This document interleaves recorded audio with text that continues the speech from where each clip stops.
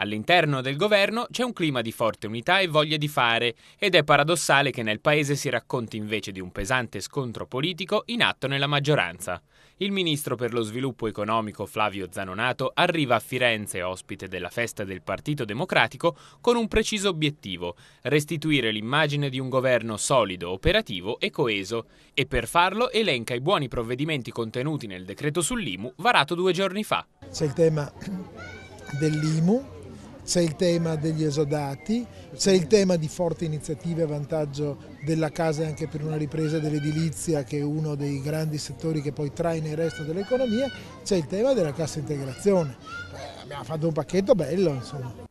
Tutte misure che per Zanonato velocizzeranno il processo di consolidamento della ripresa economica dell'intero sistema Italia e questo determinerà un aumento del flusso fiscale che secondo Zanonato permetterà al governo di scongiurare l'aumento dell'IVA dal 21 al 22%. Io conto sul fatto che non si debba aumentare il punto di IVA. L'IVA è una tassa che colpisce indiscriminatamente tutti, quindi non è una tassa eh, che tiene conto dei redditi perché colpisce i consumi quindi è una tassa tra virgolette più cattiva di altre e quindi conto che si riesca a non aumentarla.